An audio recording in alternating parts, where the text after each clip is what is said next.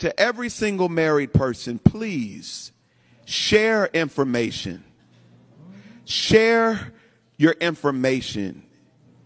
We would have a lot more success stories if we shared the truth of our experiences